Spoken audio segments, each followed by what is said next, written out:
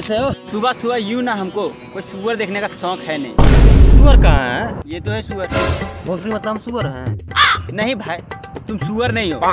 तू सुअर के साथ जलील भी देखो भाई तुम तो सिर्फ़ खाने जानते हो। दूसरों को कभी खिलाते नहीं हो। दोस्ती में कभी खिलाना भी पड़ता है। हाँ यार तू सही कह रही है।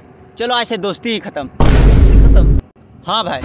चला तुम कंजूस तेरा बाप भी कंजूस। बाप को कुछ मत बोलियो। जियो जरा अपना बाप से हज़ार को मांग के लाइयो। अभी दिखाता हूँ मांग के आता हूँ।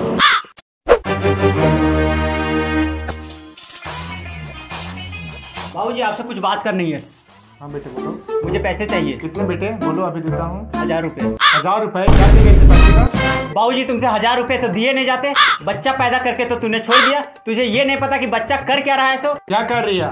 मैं बीबीए कर रहा हूँ कोलकाता से। तुझे तो बीबीए का फुल फॉर्म तक नहीं पता है। क्या होता है बताओ जरा। Business of blaster. Business of blaster in administration. अरे पहले तो हज़ार से बारहवीं तो पास कर ले बड़ा कोलकाता जा रहा है। और भाई आज बहुत उदास नज़र आ रहे हो तुम। भाई हम बारहवीं में है क्या? किसने बोला बारहवीं में तूने? तू साला ग्यारहवीं में है। तो और भाई ये सब छोड़ो। पैसा क्या हो? बाप ने तेरे को पैसा दिया हज़ार रुपए? भाई बाप मेरा जान दे देगा पर पैसे कभी नहीं देगा। चलो मैं चलता हूँ तेरे साथ बाप के पास। अंकल आपका लौंडा इतना टैलेंटेड है इतना टैलेंटेड है कुछ कह नहीं सकते। बेटे तुम गलत फहमी में हो। इसे कविता तक नहीं आता भाई अंकल को एक कविता सुना दे।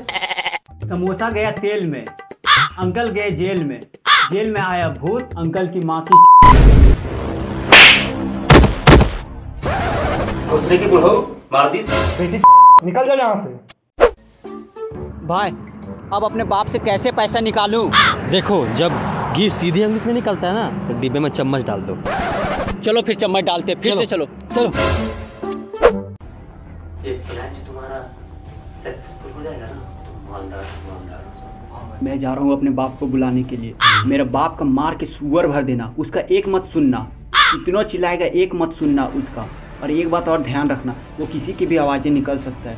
यहाँ तक कि वो तेरे आवाज़ निकाल सकता है मेरा आवाज़ निकाल सकता है किसी का मैं मत सुना मैं जा रहा हूँ बुला के ला रहा हूँ।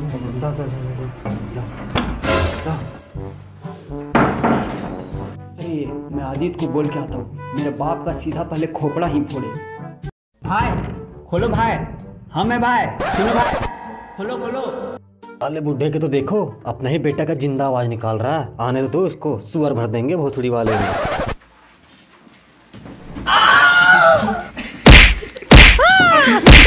अबे हमें दे भोसड़ी के अबे हमें भोसड़ी के अबे के तुम ही तो बोला था तेरा बाप किसी का भी आवाज़ निकाल सकता है। तो भोसड़ी तुम वापस आया ही क्यों? मेरे पास एक और प्लान है। क्या चलो। प्लान है? चलो।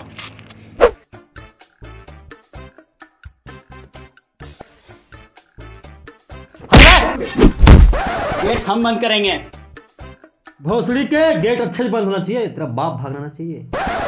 अरे बेटी चलो तुम लोग इतना गर्म क्यों हो रहे हो?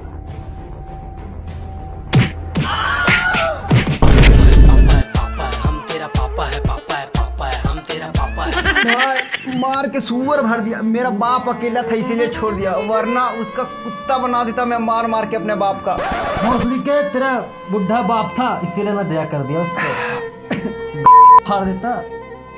हेलो गाइस वीडियो कैसी लगी? अच्छी लगी तो लाइक कीजिए चैनल को सब्सक्राइब कीजिए और वीडियो को शेयर करते रहिए।